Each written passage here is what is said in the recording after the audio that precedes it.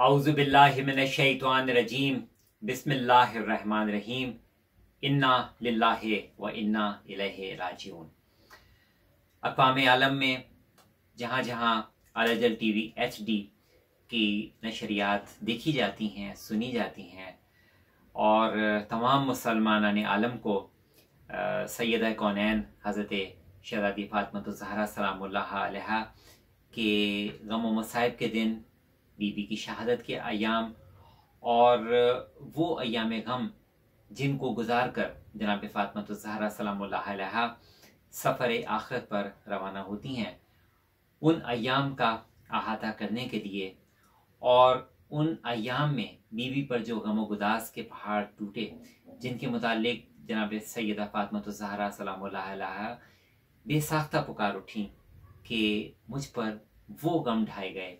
कि अगर रोशन दिनों पे नाजिल होते तो तारीख शबों में तब्दील हो जाते। तो यकीनन गमो अलाम के जो पहाड़ बीबी पर टूटे,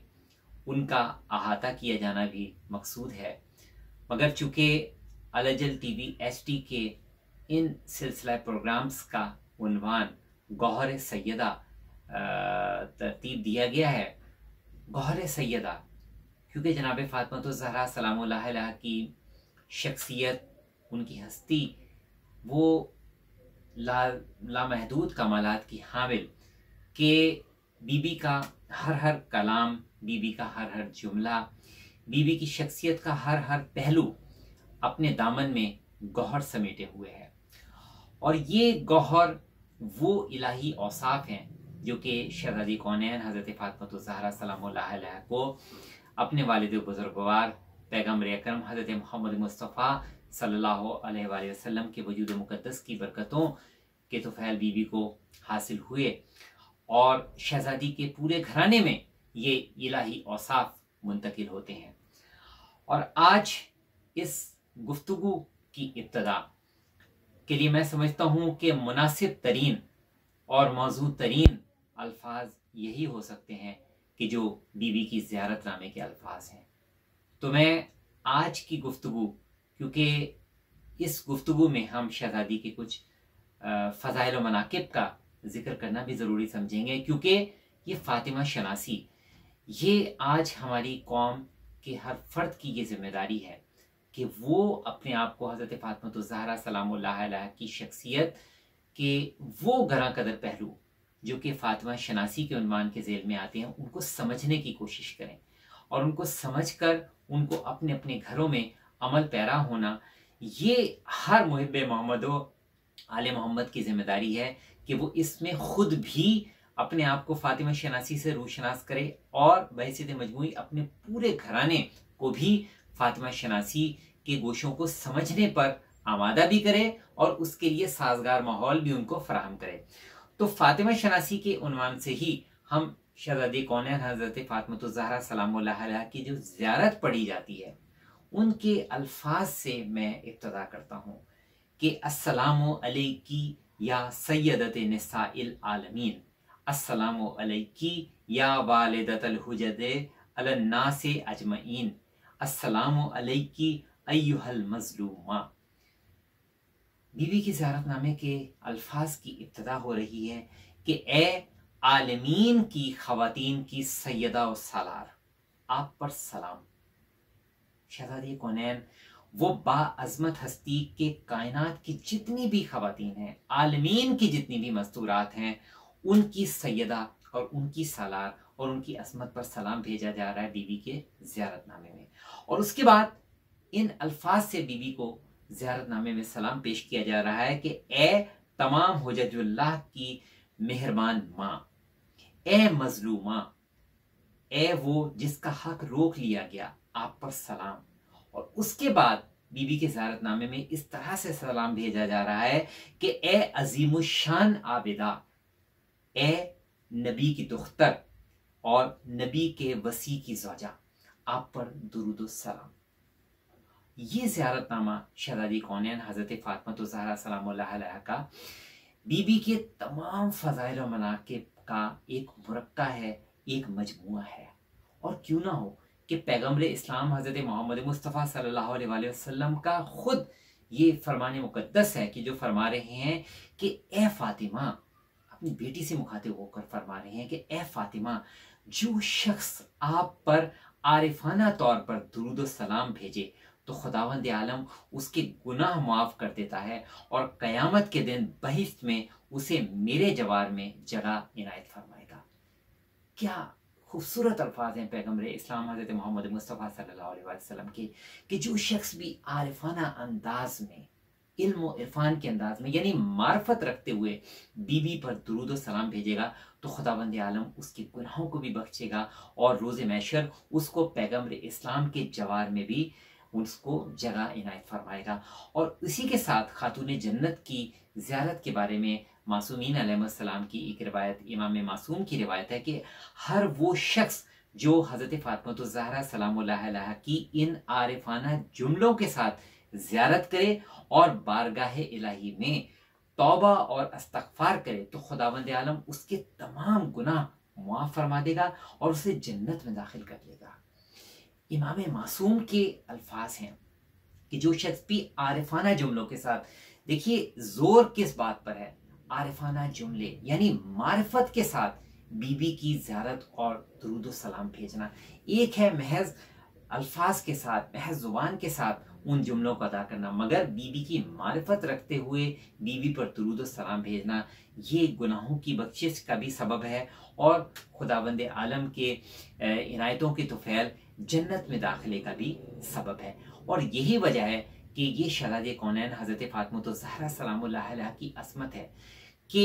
मौला मुतकियान के बाद हर इमाम, जो कि फ़र्जंद रसूल भी हैं, जो कि फ़र्जंद जहरा भी हैं, हमारे हर इमाम ने अपनी जद्दा अपनी मादरी ग्रामी हज़रत फ़ातमत ज़हरा सलाम पर फ़ख्र किया है और नाज किया है। और हमारे मासूमिन अलैहिस्सलाम ने हज़रत फ़ातमत ज़हरा सलाम से जो रिवायात को बयान किया है तो उसमें फ़ख्र के साथ इस बात को नकल किया है कि हमारी जद्दा हमारी वालदा हज़रत फ़ातमत सलाम ये इर्शाद ग्रामी फरमाती हैं। तो हमारे हर इमाम मासूम, मौल मुतकियान के बाद हर फर्जंद रसूल, हर फर्जंद जहरा का नाज है, शहजादी कौनियन हज़रत फ़ातमत सलाम की ज़ात मुक़दस अब जहाँ तक बीबी हज़रत फ़ातमत जहरा सलाम के फ़जाइल कमालत की बात है, बीबी की खसूसियात, उनके करेक्टरिस्टिक्स उनकी शख्सियत के जो कमालत हैं, उनका अहाता करना एक आम इंसान की बस की बात नहीं है। यहाँ मैं तवज्जो जो तमाम देखने और सुनने वालों की जिस नुक्ते की जाने मबजूल करना चाहूँगा कि जब भी हम किसी पर्सनैलिटी किसी भी शख्सियत के कमालत की बात करते हैं, उसकी खसूसियात की बात करते हैं तो दो अंदाज से, दो स्टाइल से हम उस शख्सियत के कमालत पर बहस कर सकते हैं। यानी एक तो वो कि जो कि उस शख्सियत के पर्सनल करेक्टरिस्टिक्स यानी जो स्पेसिफिक करेक्टरिस्टिक्स हैं, जो ख़ास खसूसियात उस शख्सियत को हासिल हैं, एक तो हम उनको डिस्कस करते हैं। और इसके अलावा उन खसूसियात को भी डिस्कस करते हैं जो उस शख्सियत को इसके अलावा हासिल है, यानी इजाफी खसूसियात। तो दो तरीके से हम किसी भी पर्सनैलिटी को डिस्कस करते हैं। अब जहाँ तक हज़रत फातमत सलाम की शख्सियत का ताल्लुक है तो अगर हम पहले अंदाज से, यानी जिसमें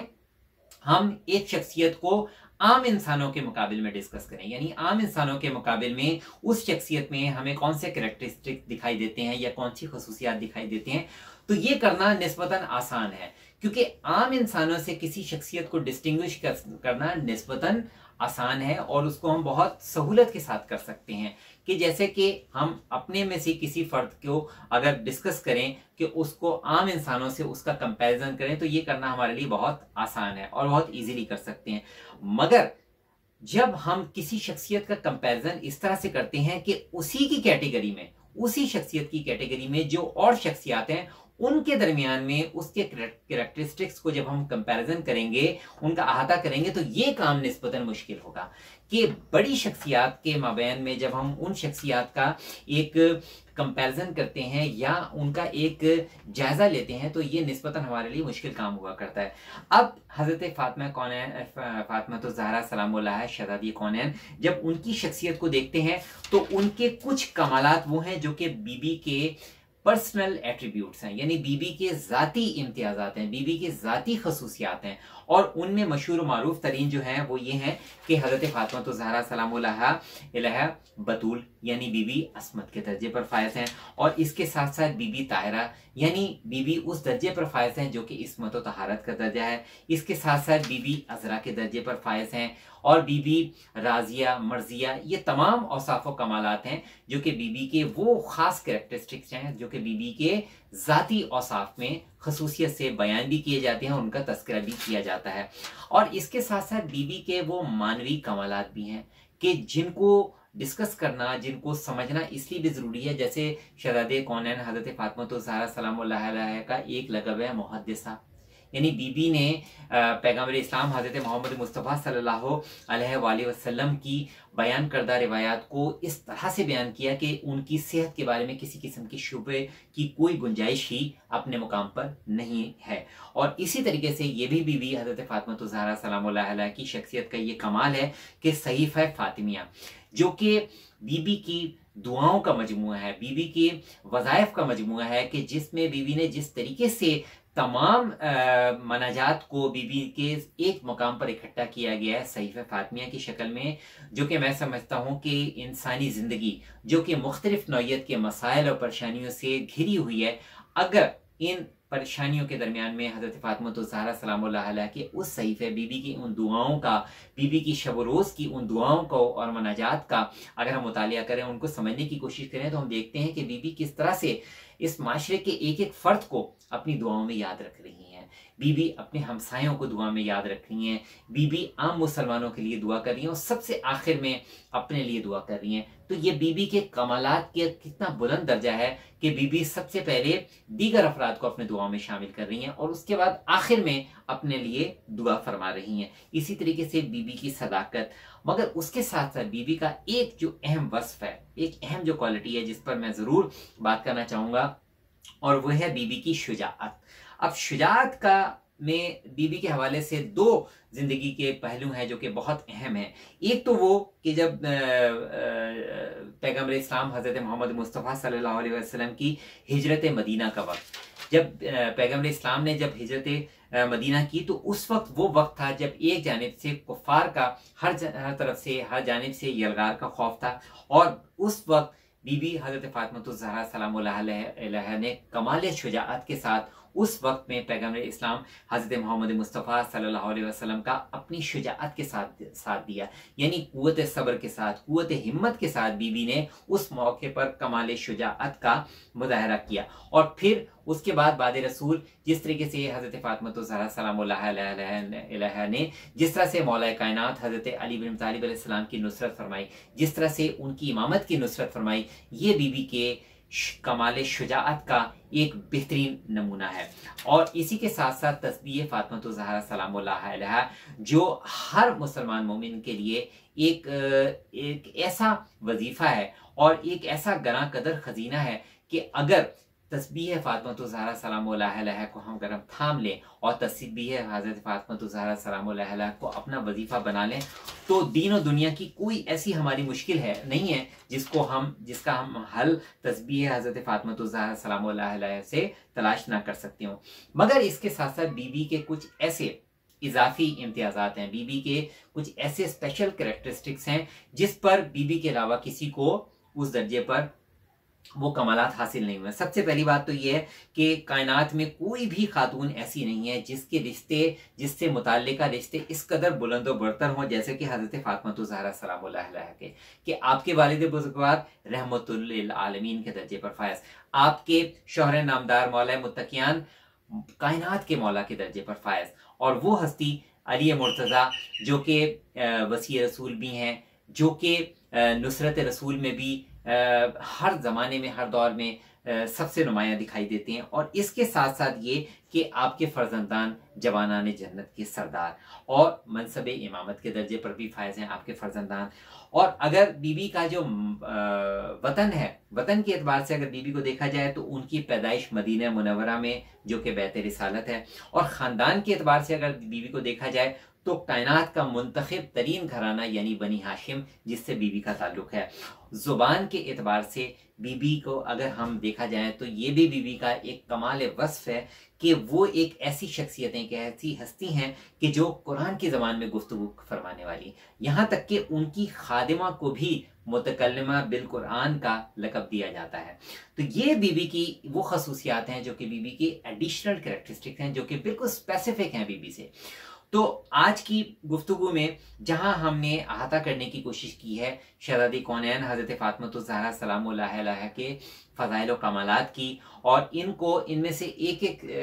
बीबी के सीरत की गोशी को समझना और हर हर हमारे फ़र्द, माशरे के फ़र्द को उन पर अमल पैरा होना आज के दौर में इसलिए ज़रूरी है कि हम उस दौर में तेज़ी से दाखिल हो रहे हैं, जो कि जहूर इमाम ज़माना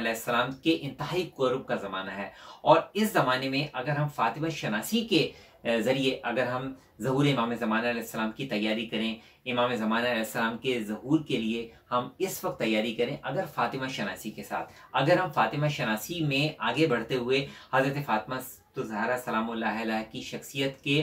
सीरत के गोशों पर अमल करते हुए, उनको अपनाते हुए, अगर हम जहूर इमाम ज़मान के लिए तैयारी करें और मार्फत इमाम ज़मान में आगे बढ़ें तो इमाम ज़मान भी हमारी मदद फरमाएँगे। इसलिए कि इमाम ज़माना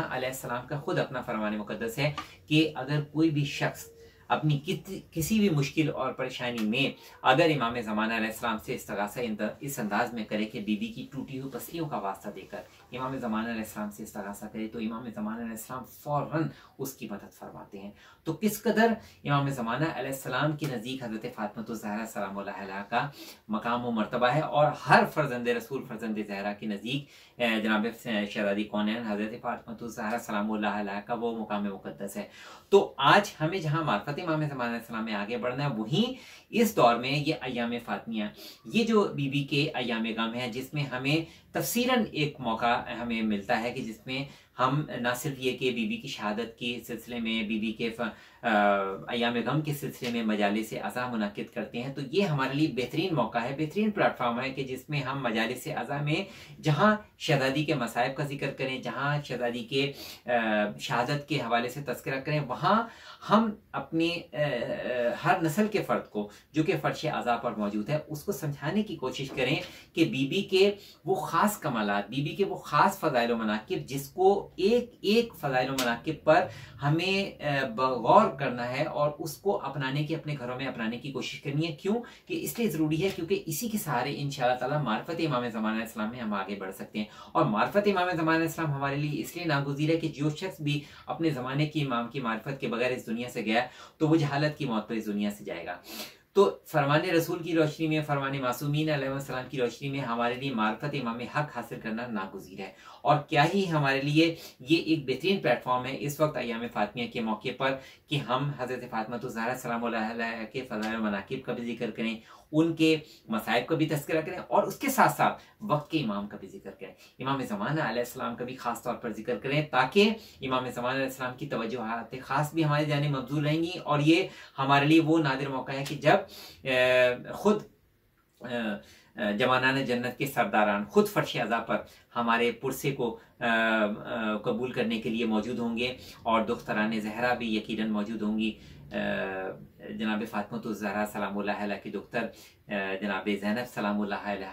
तो हमारे लिए ये मौाक़े ये भी हमारे लिए गौहर सैदा है। कि ये ये जो हम अश्क बहाएँगे, ये भी हमारे लिए बीबी के बारगाह में जिस तरीके से मकबूल मंजूर होंगे, क्योंकि बीबी जब अपने लाल सैदुलशदा इमाम हुसैन अली मुकाम के गम के मौके पर, जब उनके फ़दा उनके मसाइब के दिनों में बीबी एक एक फर्श अदा पर रुख करती हैं और अपने रुमाल के हमरा और अजादारों के अशकों को अपने रुमाल मुक़दस की जीनत बनाती हैं तो इन अयाम में बीबी की ही दुख्तर, यानी जनाब जैनब सलाम उसी रुमाल सैदा के साथ फर्शदा पर मुंतजर होंगे अजादारों के आंसुओं की भी और ख़ुद सैद इमाम हुसैन अली मुकाम और पैगंबर इस्लाम हज़रत मोहम्मद मुस्तफ़ा अलैहि वसल्लम, मौल कायनात अली मुर्तज़ा और तमाम फ़र्जंदान रसूल फ़र्जंदान जहरा इन अयाम गम के मौके पर फ़र्श अदा पर मौजूद होंगे। तो हमें इन तमाम हस्तियों की ख़ास तवजुहत को भी हमने अपनी जानब मबजूल कराना है ताकि इन हस्तियों की जानब से हमें ख़ास किस्म के मानवी तौर पर हमें वो फैज़ हासिल हो सके जिनके सहारे हम फातमा शनासी में भी अपने आप को बेहतर कर सकें और मार्फत इमाम ज़मान में भी अपने आप को बेहतर कर सकें। और मैं ख़ास तौर पर दुआ गो हूँ अलजल टी वी एच डी का। कि जिन्होंने गौहर सैदा की उनवान से शरादी कौनैन के फ़जाल मनाकब की मुनासबत से एक मौजू का इंतखब किया और इस बात की सादत अता फरमाई कि बीबी की सीरत के कुछ गोशों को आपके सामने बयान किया जाए ताकि इन इन सीरत के गोशों पर हम गौर खोज करके इन अयाम फ़ातमिया में इन पर अमल पैरा होने की सादत हासिल कर सकें। और आखिर में मैं तमाम देखने और सुनने वाले जिन्होंने गौहर सैदा के उनवान से इस गुफ्तु को सुना। मैं दुआ गो हूँ कि खुदा बंद आलम, आप सबको कभी कोई गम ना दे सिवाय गम हुसैन के, गम सैदा के और आप सबको वक्त के, इमाम के ज़ेर साया उनके हिफ्ज़ अमान में रखे। और खुदाबंद आलम सबसे बढ़कर तो ये दुआ है कि इन अयाम गम जनाब सैदा में, इन अयाम फ़ातमिया में जो हम तस्करा हज़रत फ़ातमा तो ज़हरा सलाम पूरी दुनिया में इन ताला जारी सारी है। खुदाबंद आलम खुदा बुज़ुर्ग बरतर से ये दुआ करते हैं कि खुदाबंद आलम, फ़र्जंद रसूल, फ़र्जंद ज़हरा, इमाम ज़माना के ज़हूर में ताजीर फरमा और हम सबको अपने वक्त के इमाम के अवान अंसार में शुमार फरमा। बेहक के ज़हारा वबिया वबाल वबनिया रबना तकबल मिन्ना, इन्नक अंतस समीर अलीम। अल्लाहुम्मा सल्ली अला मुहम्मद व अली मुहम्मद व